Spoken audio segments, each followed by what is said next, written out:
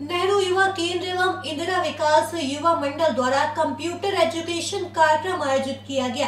परीक्षाओं के दौर में युवाओं के लिए ओरिएंट ऑफ़ यूथ को आत्मनिर्भर बनाने के उद्देश्य से भारत पर उन्मुखीकरण पर व्याख्यान हुआ। ओरिएंट ऑफ़ यूथ कार्यक्रम Infotech computer education Dhar Naka Mhow में रखा गया।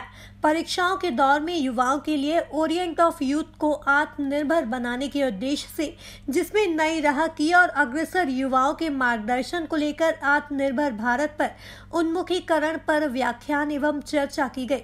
कार्यक्रम में आमंत्रित एनएसजीसी के मास्टर ट्रेनर जसवंत सिंह बिस्ट ने अपने व्याख्यान में बचपन से लेकर युवावस्था के कार्यों को जीवन की सफलता एवं असफलता से जोड़कर कहानियाँ तथा रोचक तथ्यों के माध्यम से समझा। सफल युवा एवं जागरूक युवा होने के लिए सुनना और सीखना ज़रूरी है।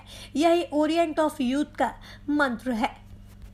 हमेशा जवाब देने के लिए नहीं सुना जाता समझने के लिए सुना जाता आप बिना समझे जवाब दोगे तो गलत ही होगा। जैसे हमें कोई पूछता है? देखना वहाँ वो बॉक्स रखा क्या? तो जवाब कैसे होते हैं मालूम है? क्यों आँखें फुट गई? दिख नहीं रहा क्या? कैसे ऐसे जवाब होते लोग इसका जवाब है हाँ या ना। इसका लॉजिकल जवाब क्या? हाँ रखा है। या? नहीं नहीं रखा।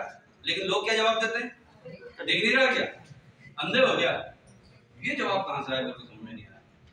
ये कौन से स्कूल में जाके सीखे? ये किस ट्रेनर और गुरु ने उनको सिखाया?